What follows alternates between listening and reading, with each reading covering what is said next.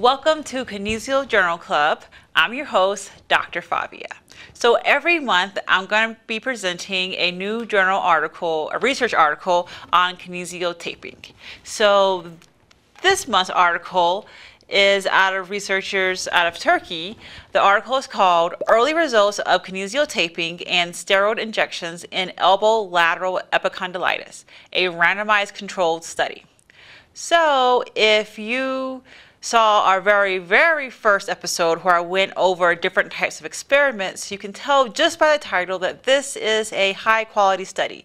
They did a randomized controlled trial, which is one of the best levels or best types of experiments uh, researchers can do. This article was published this year in 2021 in March. So a little background about the article. Lateral epicondylitis is a chronic and degenerative disease of the elbow or on this side. You probably know it as tennis elbow and is usually caused by repetitive motions. It's an overuse syndrome of the elbow and the extensor muscles of the forearm. And you can think of like tennis, like that's why they get um, tennis elbow. It causes pain and tenderness on the side of the elbow. It affects up to 3% of the general populations. And when you break that down into subpopulations, it's about 15% in heavy industrial workers. It affects females and males pretty equally, and it generally afflicts adults, so people between ages of 34 and 55. So the, the treatments are varied. You can have surgery for tennis elbow, but there's also conservative treatments that we all know about.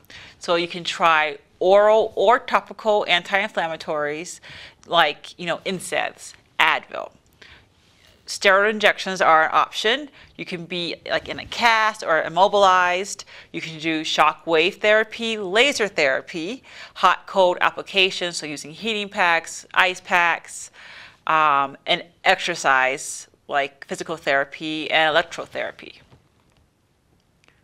There's also a newer treatment out, but the treatment itself is not new.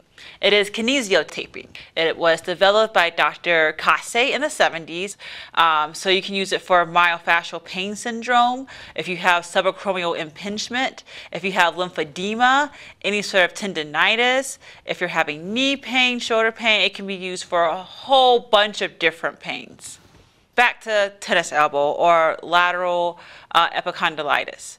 CSI, not the TV show, but corticosteroid injections is the preferred treatment generally. It's been reported to be superior to the other conservative treatments that I listed earlier. But there are some bad parts to it. It seems to only give short-term relief, which then leads to a high recurrence rate. And on top of that, the side effects can be very severe.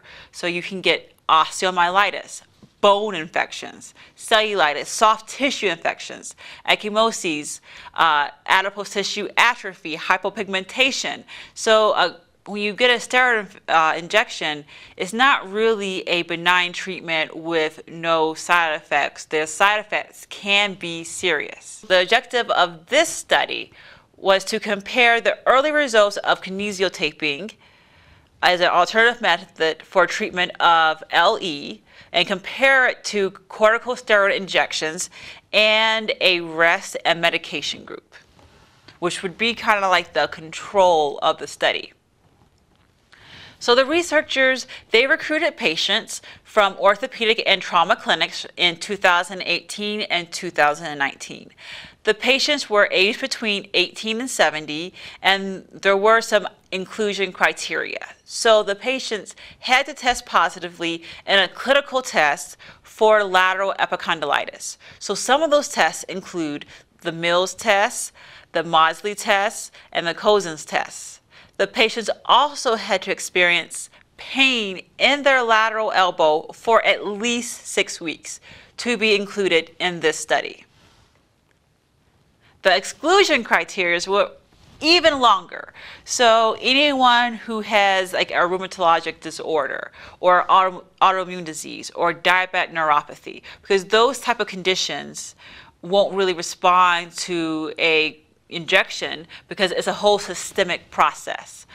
Um, if you're pregnant, if you had any sort of local or systemic infections, if you had an allergy to the tape or to the steroid, you were excluded from the study, meaning you could not participate in the study.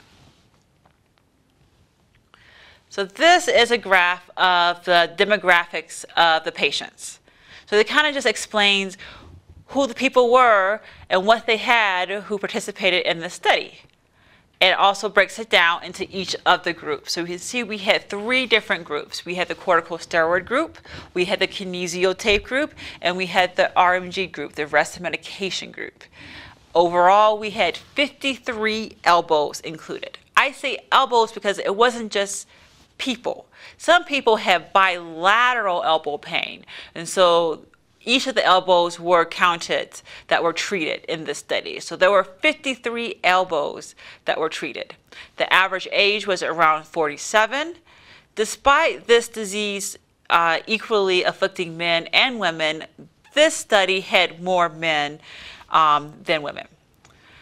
It also shows that most people were right-handed and their affected hand was mostly the right hand.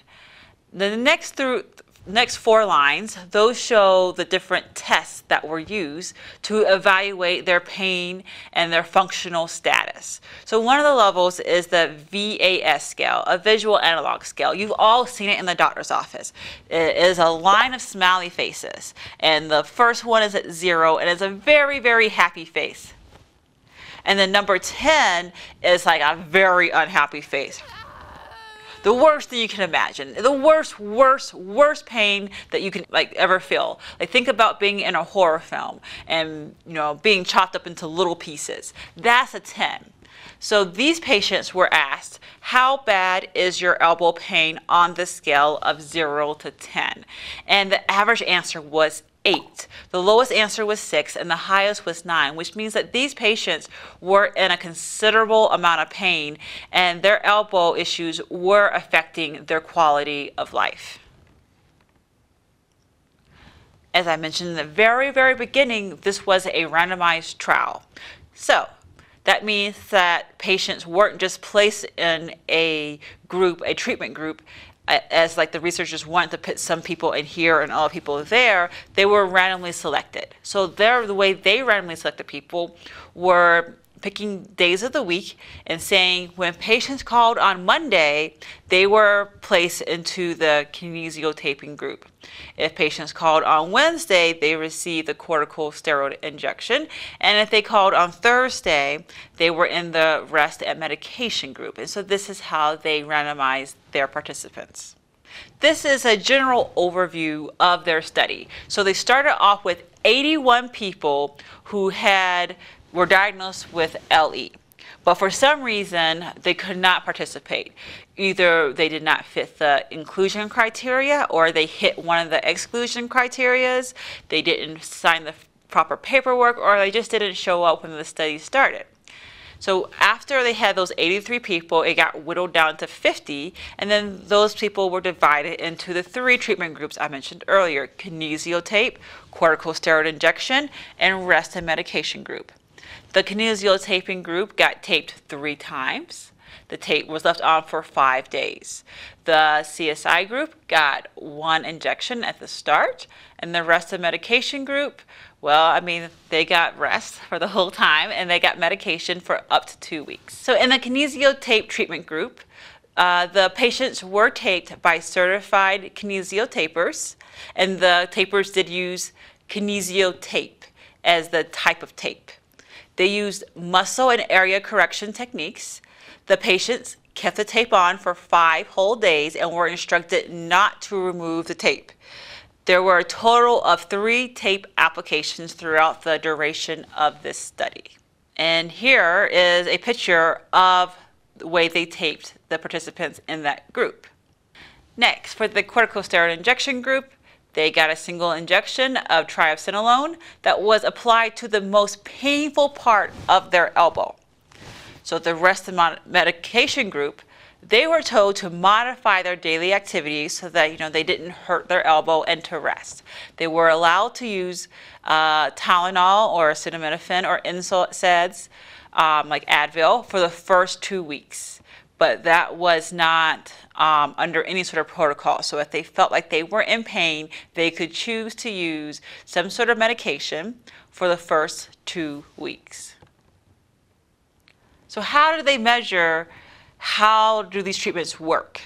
Well, first they did a pre-treatment evaluation. So before they did the treatment, they evaluated people on five different tests. So they did the NIRS, NIRS left, uh, lateral epicondylitis scoring scale. They did the visual analog scale, the quick disability arm, shoulder, and hand scale, the patient-related elbow evaluations, and they used a grip test. So they use all five of those ways to evaluate the patient before they got any sort of treatment.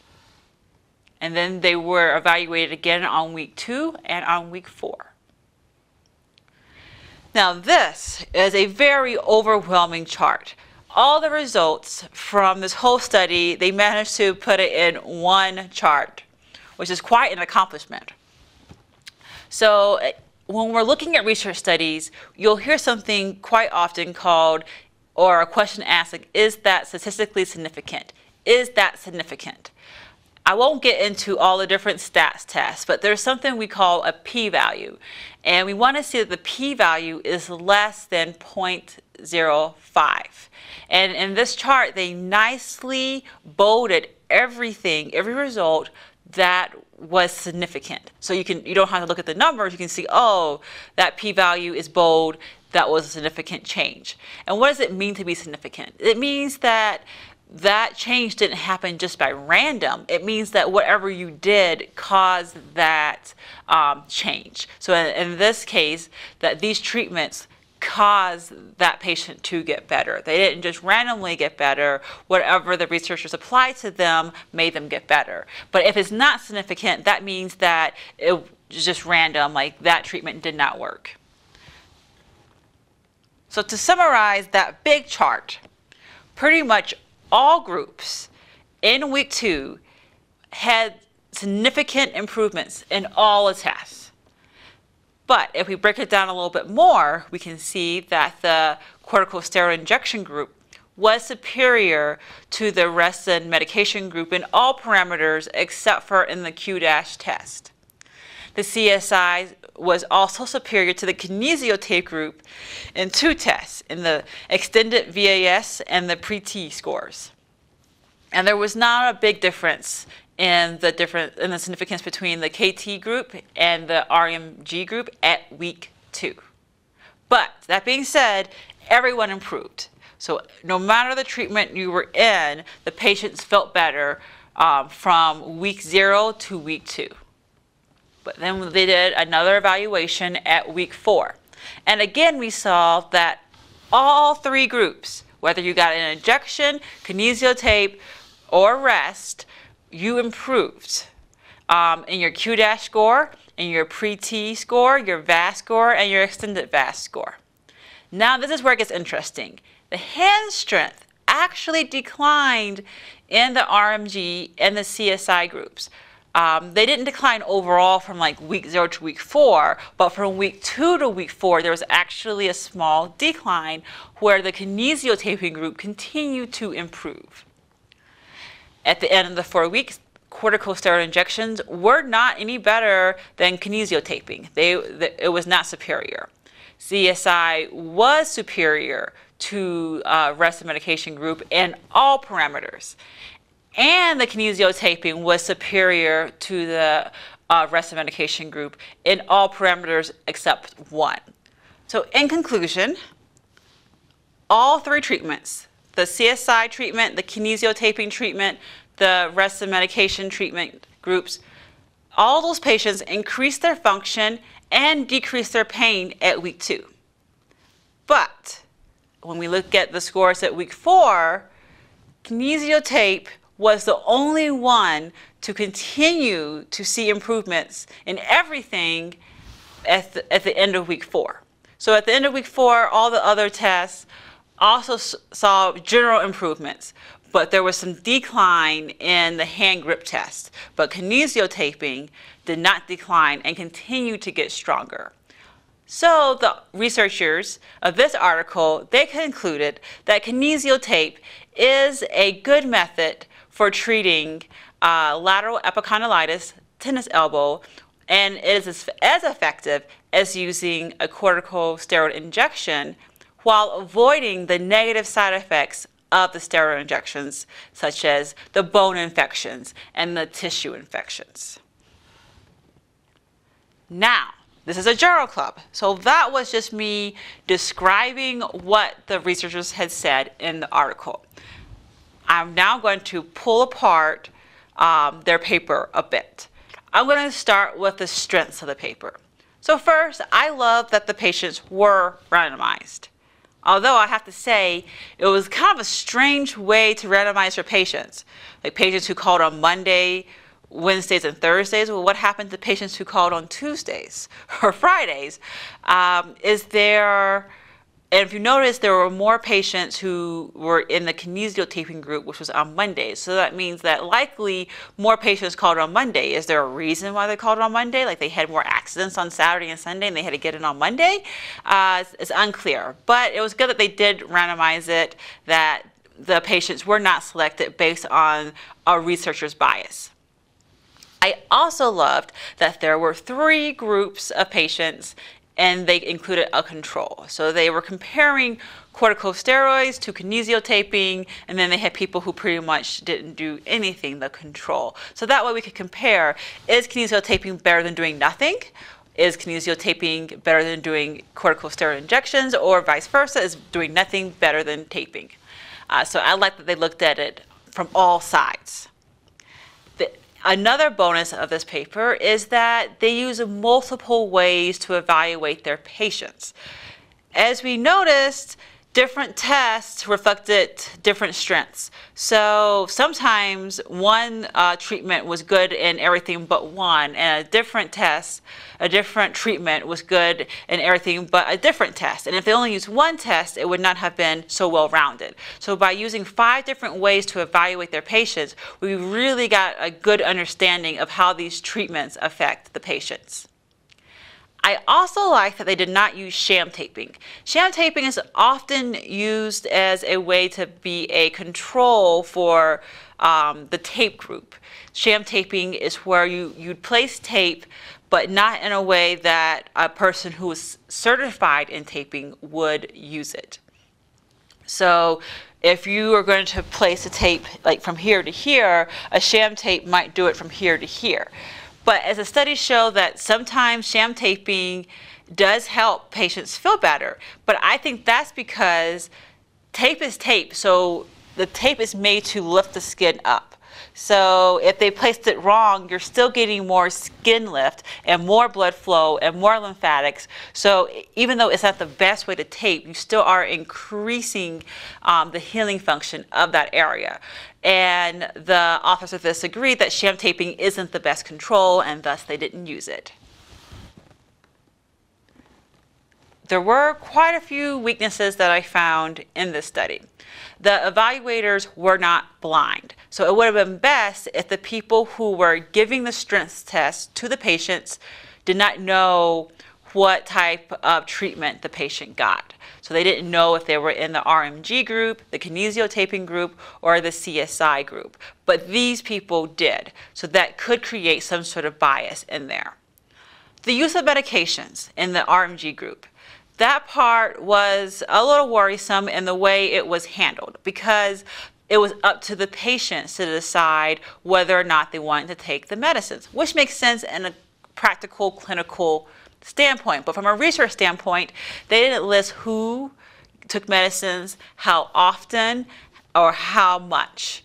So I don't know if like one person took medicines or if everyone took medicine. And that can be a confounding factor there. The paper also had a short follow-up, which they acknowledged. It was just to show early results, so it was only evaluating at week two and week four of treatment.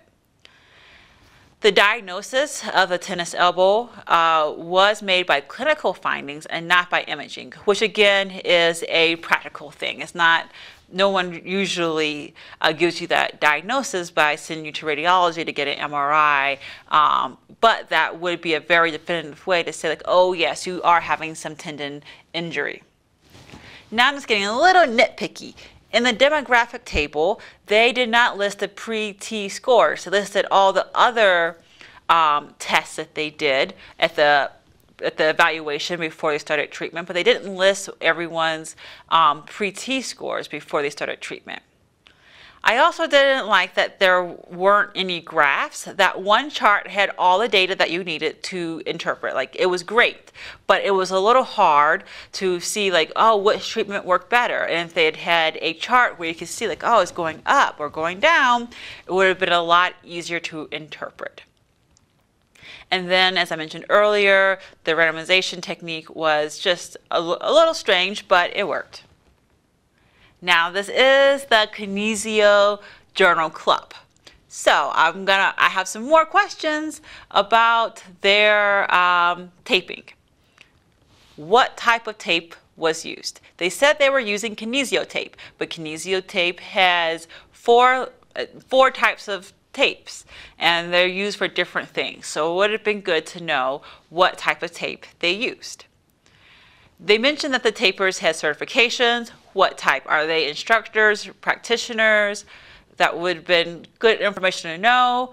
Um, even in like how long they've been taping. Are they new? Are they really experienced? And what level of tension were they using?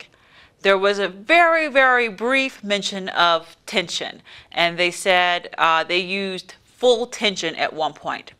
Well, we don't typically use full tension too much in our kinesio taping methods.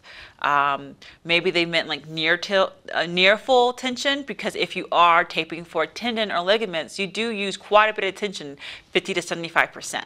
So I would have uh, preferred if they had used percentages in there to relay what type of tension they used at different parts. But overall, it was a great study.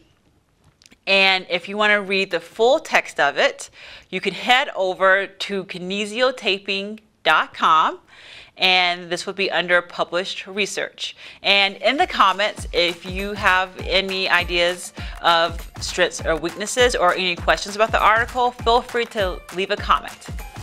And here's a picture of me using a kinesio tape for a weak wrist. have a good day. Thank you.